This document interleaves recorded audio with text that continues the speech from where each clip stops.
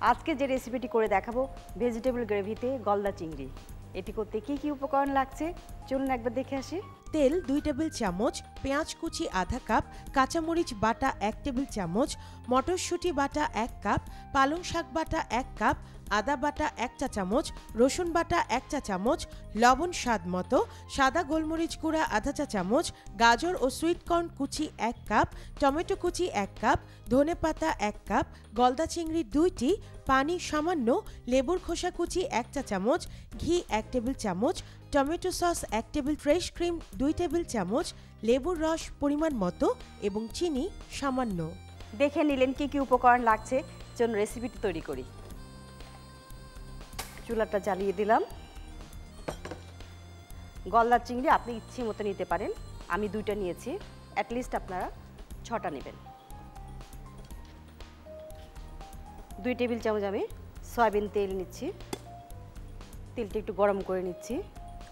কুচি দিচ্ছি half cup.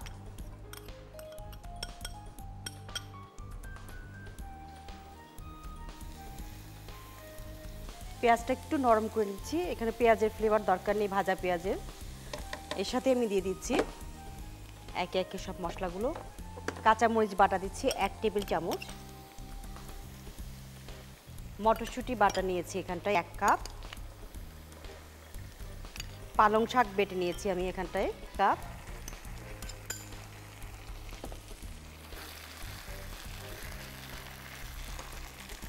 আদা বাটা দিচ্ছি এক চা চামচ, রসুন বাটা এক চা চামচ, লবণ দিচ্ছি পরিমাণ মতো হোয়াইট পেপার দিচ্ছি আধা চা চামচ। এটা একটু ভাজা ভাজা করে নেব। এটার সাথে দিচ্ছি আমি একটু কালারফুল হওয়ার জন্য। গাজর কুচি, তার সাথে নিয়েছি সুইট কর্ন মিলিয়ে এক কাপ। একটু টমেটো কুচি দিচ্ছি।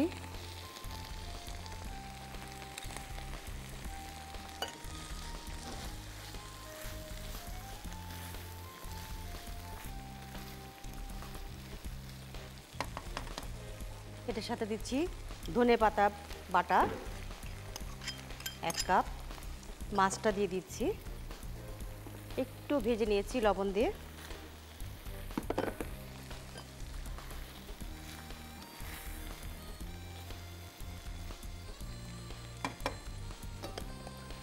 একটু পানি দিচ্ছি। অল্প। আর দিয়ে দিচ্ছি এর সাথে লেমন গ্রাস। কুচি করে নিয়েছি। এটাকে আমি নিয়েছি আসলে লেবুর খোসাটা ওপর থেকে গ্রেট করে নিয়েছি। সেটা দিচ্ছি এক চা চামচ। আর দিচ্ছি ঘি এক টেবিল চামচ। এটার পরিবর্তে আপনারা বাটার দিতে পারেন।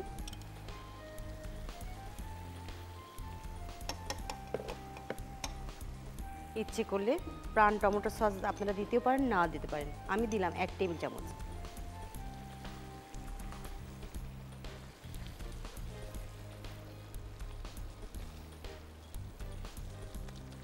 এটা আমার রান্না প্রায় হয়ে এসছে। এটা কি লাস্টে দিয়ে দিচ্ছি আমি ফ্রেশ ক্রিম দুই টেবিল চামচ।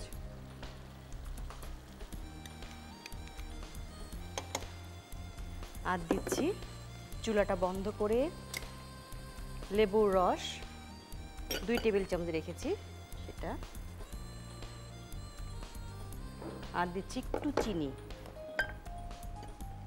এটা টেস্ট অনুযায়ী।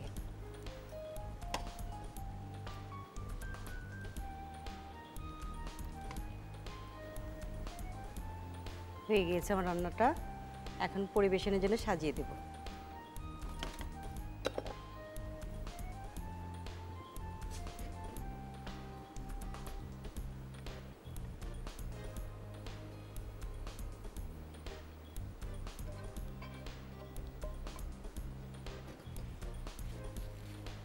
একটু ফ্রেশ ক্রিম দিয়ে সাজিয়ে দিচ্ছি।